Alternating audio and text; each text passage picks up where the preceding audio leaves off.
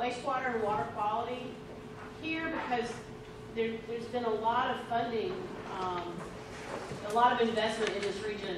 And while a huge chunk of it is in Valdosta, there's another eleven million dollars that other communities have received, um, and that are doing good work to make upgrades, to, uh, improve their treatment systems, to, uh, expand them. And so this, this section gives a quick snapshot of where some of those investments are being made. Um, and then specifically talks about, uh, a little, talks a little bit more about, uh, the Valdosta investment.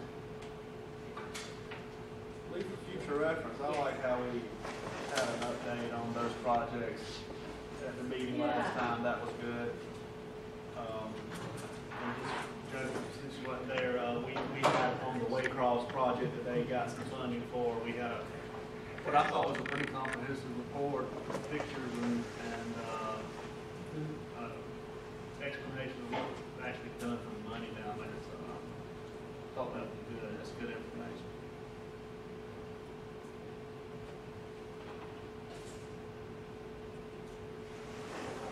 And we got a report from Valdosta, of course, that's something we're gonna continue to, to, uh, stay with for the duration of this. That's an important project for us. We're completely up to speed on that, Right, and that's the presentation on my computer, so I can totally just, you know, Pat, you could jump in and give that. Emily did a great job She really describing did. the work that's being done.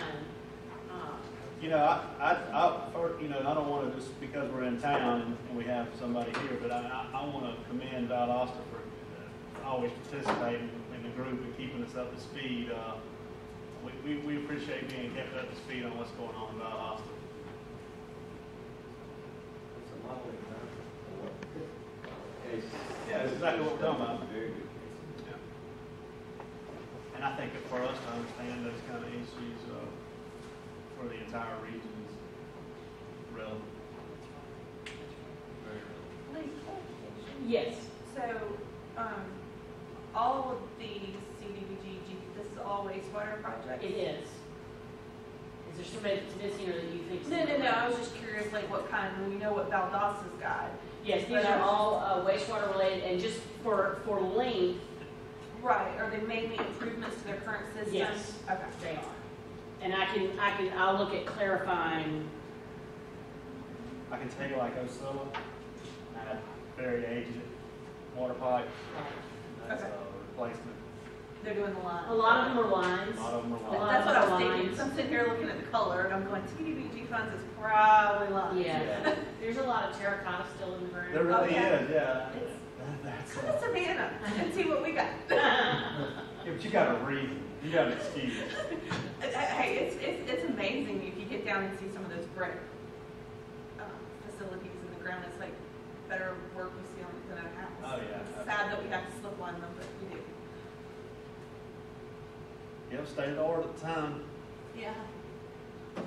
Great masonry work.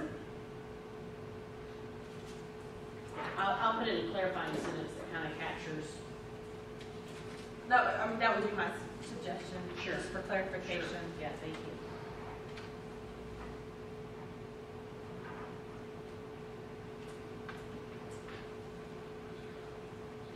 In the, in the wastewater? I know it's, you know, primarily graphically based, and again, it's because there's, there are a lot of things happening, and so we wanted to make sure that we could at least represent everybody that had a project going on, um, with these specific types of funding.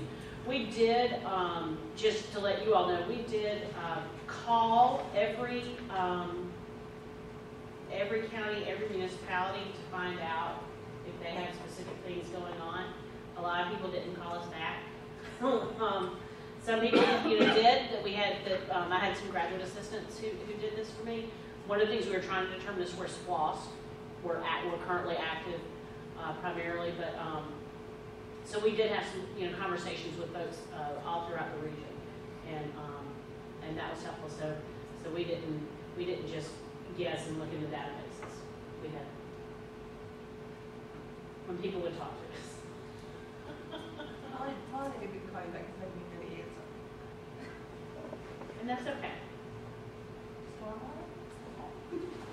Anything else with wastewater? Any, any clarifying things? And I think, you know, Joe, to your point of making sure that we indicate that on the front end, planning for these are, is an important piece of it. And then, you know, making, Planning and funding processes, you know, where you, the depreciation is built in, that, it just has not historically. and I think that maybe, maybe two of the CDBG grants were emergency loans to make repairs, um, on, on system failures that had to be addressed immediately. You may be able to get some data out there on how to aid in your index. To represent the fact that that is an issue that we're in, at at the infrastructure. And many of those that are past, you know, due for upgrades and the funding is not currently built in, it's got to be catch up. Grab the, the papers back there. Sorry, I didn't mean to interrupt you, No, that- Joe. so what we're facing now is, is the fact that, any way we put it, there's just not enough local funding base without some help in catching up, and we gotta have some ways. And then a way of building it in. It's much easier to get it funded when you don't have to talk about keeping it up, though. Yeah, oh, it is. But I don't think anywhere, so many of these places, there's just enough capacity to catch it up totally local